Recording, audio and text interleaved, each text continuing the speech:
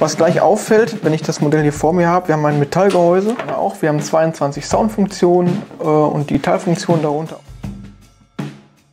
Hallo liebe Modellbahnfreunde und Kunden vom Modellbahnshop Lippe. Heute wird es nostalgisch bei uns. Märklin hat die Baureihe 120 geliefert.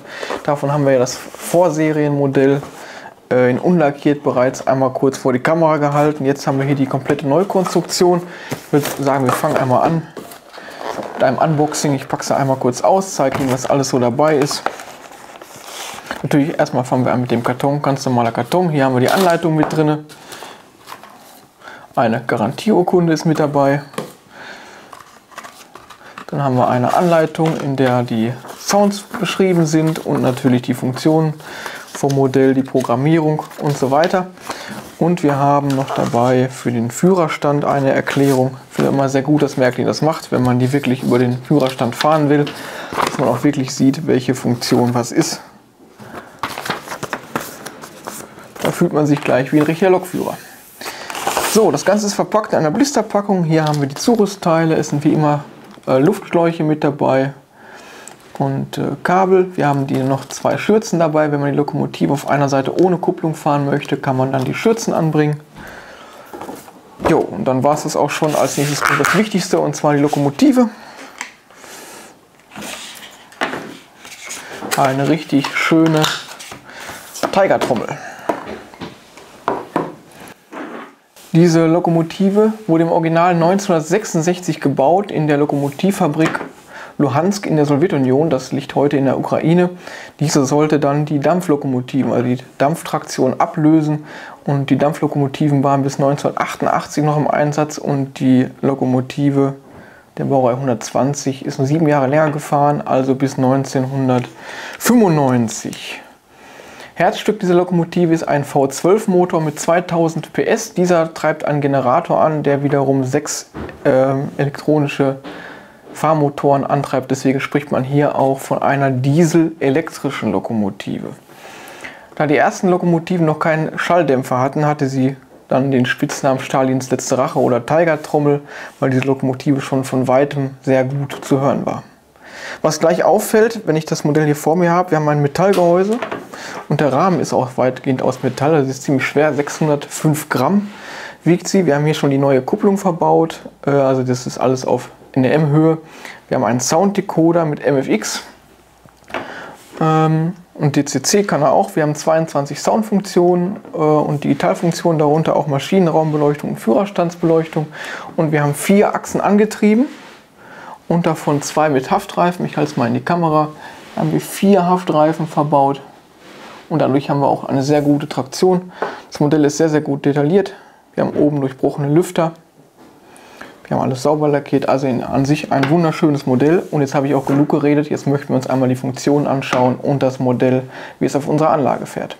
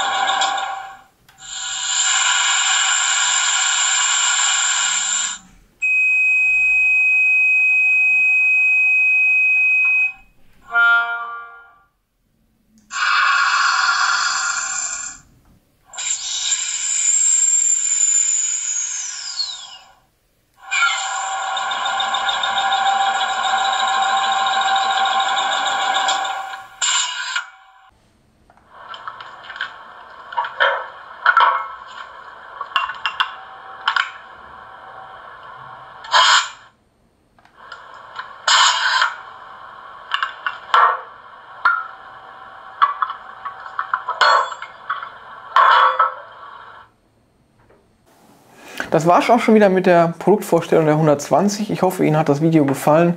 Wenn Sie Kommentare oder Anregungen haben, was Sie noch sehen möchten, einfach mal in die Kommentare mit reinschreiben. Dann wünschen wir Ihnen noch viel Spaß mit der neuen 120 und viel Spaß mit der Hobbymodelleisenbahn.